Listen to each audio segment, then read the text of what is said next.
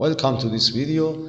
This video explains how to create complicated parts and assemble them in our models.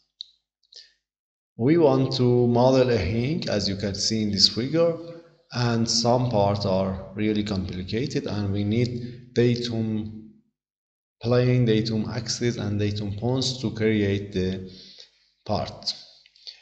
In videos of this series the complete modeling of this hinge, including the creation of contacts and explanation about contacts and also meshing the parts and full analysis of this problem will be explained. But in this video, we only explain how to create parts and assemble them. Create parts, for example, flange, three-dimensional, deformable, solid and we can continue and draw a cube by this dimension. At first we create a rectangle by this dimension and then extrude it by 0.04 and we can now add the flange to the ink by extrude we choose a surface and choose a line for vertical axis and draw a rectangle again.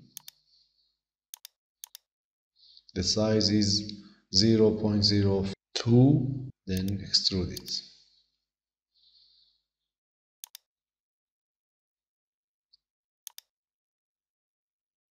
Now we should round the end of the uh, flange by a fillet.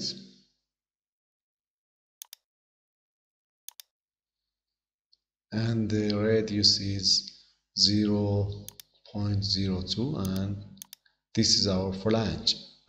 We need a hole for the pin in the flange also. We create it by cut. We choose a surface and a line for vertical axis and draw a circle and enter its radius.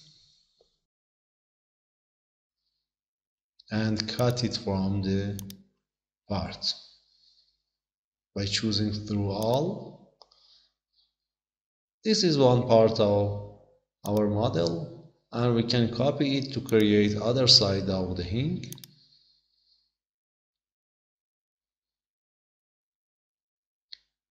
Other flange has a hole for lubrication and we choose the name flange with hole for it and now we should create a hole on this part of the flange.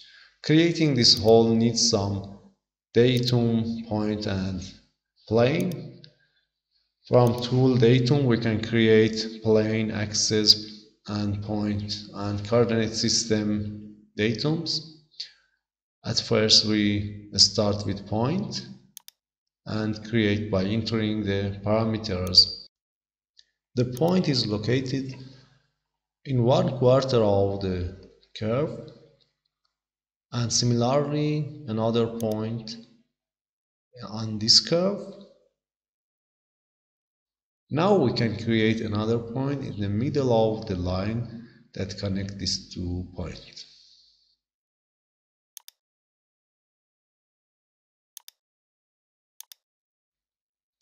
This is the place of our hole.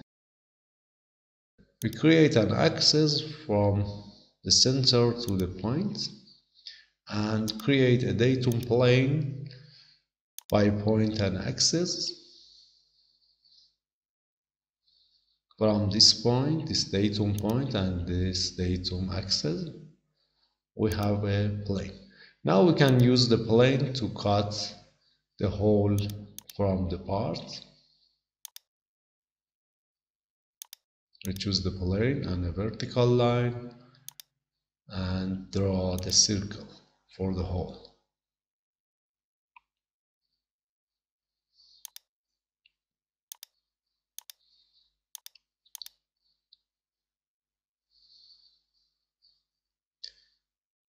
For cutting the circle, we should note that the cut should be done until the next face and we choose this face and cut will be done until this face now we have two parts.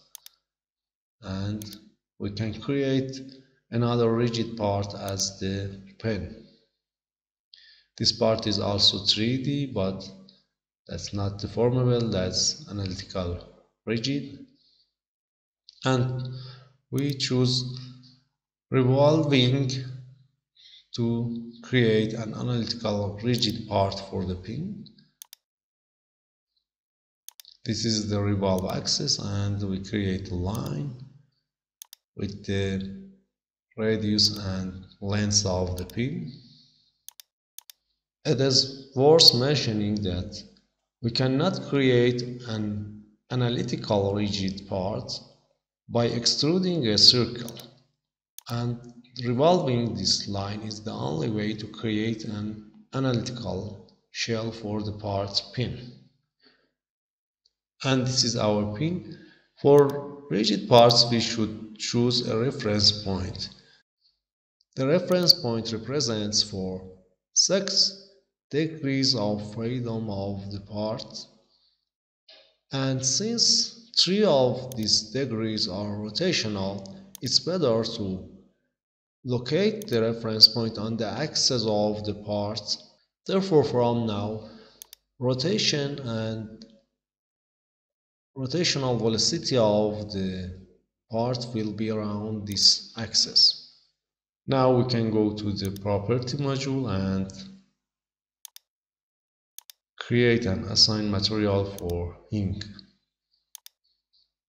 The material is steel and linear elastic.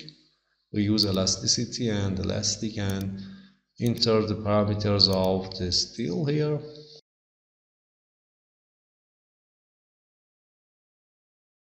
The model is in meter and we can use Pascal unit. Then we create a section and assign the section to the part we also assign the section to the next part and the rigid part does not need any property.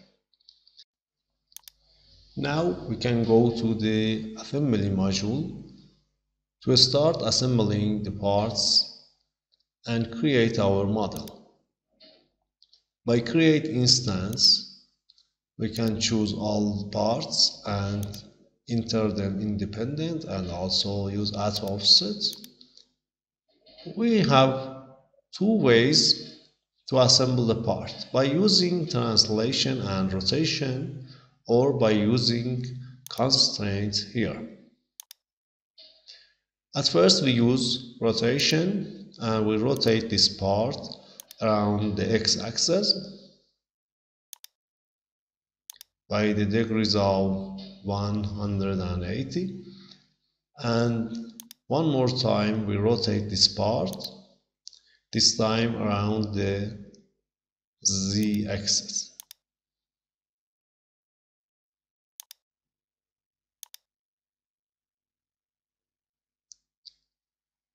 and now we can put the part in the right location by translating it we translate this part from this point to this point.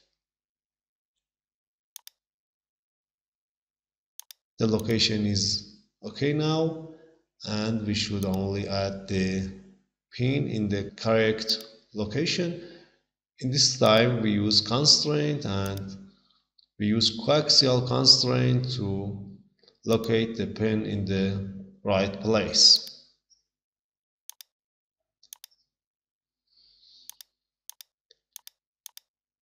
Only the pin should be translated in the direction of its axis.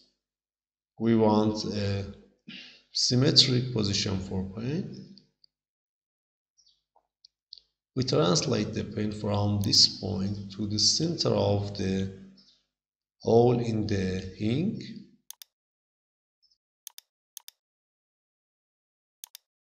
and now we can see that the pin position is not symmetric and we should translate it a little. We translate pin from the point 0 to the point 0 0.01 and now the pin is in the correct location. And now save our model. I hope this video was helpful for you guys. Please watch our next videos about completing this model in the series of modeling of a contact. See you in the next video